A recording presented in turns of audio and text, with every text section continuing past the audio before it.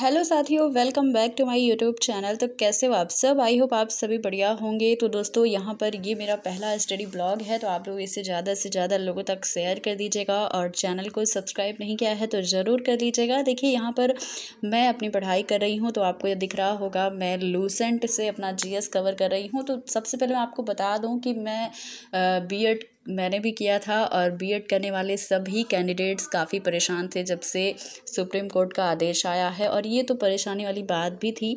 लेकिन हम सब कर ही क्या सकते हैं, अपनी पढ़ाई आगे बढ़ा सकते हैं और कुछ अलग सोच सकते हैं। तो मैंने भी अपना टारगेट जो है एस एस का रखा हुआ है।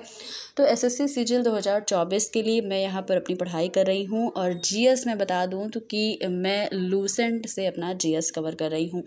और लूसेंट के बाद मैं देखिए आपको बता रही हूँ वकैब अगर आपको अलग से पढ़नी है तो नीतू मैम की जो बुक है, वो कैब की, वो आप ले सकते हैं।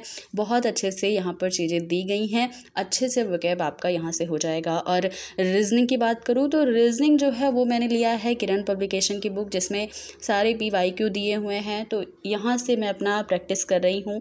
रीजनिंग की आप देख पा रहे हैं, यहाँ पर चैप्टर ये भी दिया गया है कि कौन सा चैप्टर जो है कितने वेटेज का है।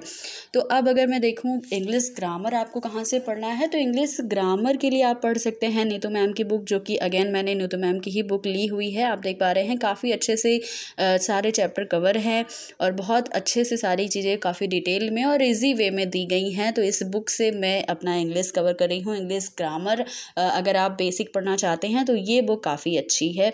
और मैथ की अगर बात की जाए तो मैथ की बुक आप देख पा रहे हैं ये मैंने किरण पब्लिकेशन की अगेन ली हुई है तो यहाँ से मैं अपना मैथ uh, कर रही हूँ कवर इंग्लिश तो मैंने आपको बता दिया मैथ में आप किरण पब्लिकेशन से प्रैक्टिस भर भर के कर सकते हैं क्योंकि क्वेश्चन काफ़ी अच्छे से सारी चीज़ें दी हुई हैं। तो दोस्तों ये ब्लॉग मैं आज यहाँ पर एंड करती हूँ। Thank you